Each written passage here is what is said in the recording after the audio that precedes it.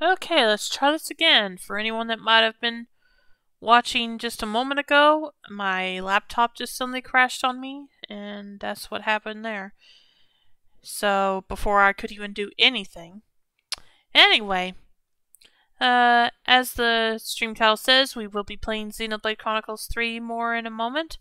But before, or in a few moments, but before that, I decided that I would go ahead and do a quick reaction to the newest trailer for the Super Mario Brothers movie that was just released earlier today.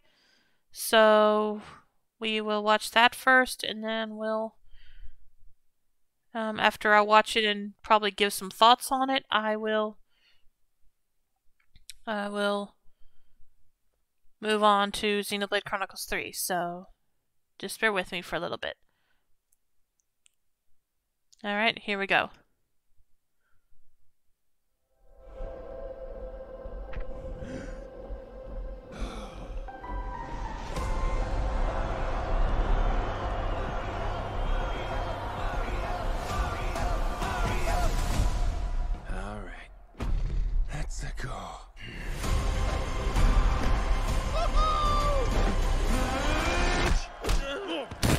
Oh, okay.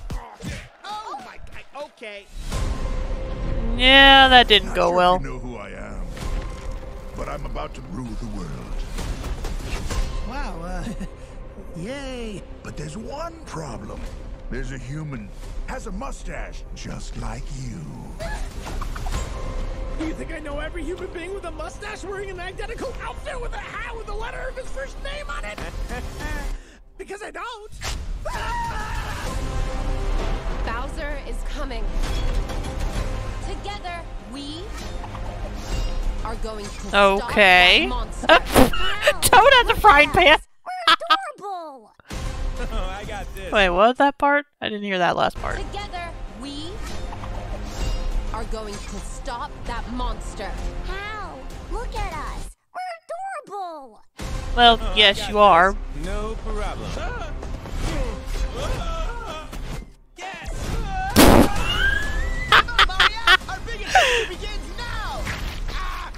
Oh gosh.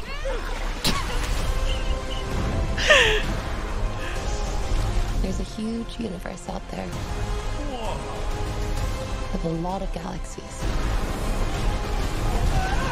They're all counting on us.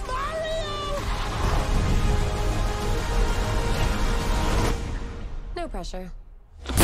Okay, sure. okay, got Mario Kart for some reason. Uh, wow, that's a lot of vehicles. Okay, not gonna lie, this is still shaping up to look pretty good so far. So, yeah, that was the newest trailer for the Super Mario Brothers movie, and yeah, looking pretty good so far. And looks like Princess Peach is gonna have a pretty active role in the movie, so that'll be interesting to see. Kind of reminds me of of a comic that was in Nintendo Power years ago. There was a scene in it where Princess Peach, called Toad, still called Toadstool back then, was um I I she actually goes out there's a scene where she actually um goes after um Bowser after I think it was I think um I think it was after they kidnapped Luigi who was dressed up as her or something like that. Uh it's been a long time since I read that comic so I can't remember all the details, but yeah, there was a scene where she got where oh gosh. And that's kind of what this princess version of Princess Peach reminds me of. Anyway, so yeah, like I said, looks like it could be a pretty fun movie. so I don't know when I'll get to see it because I don't get to see movies in theaters much anymore, or at all. So, like I said, there's no telling when I'll get around to watching it, but I probably will as soon as I get a chance. Okay, anyway, we're done with that now, so let's go ahead and move on to Xenoblade Chronicles 3.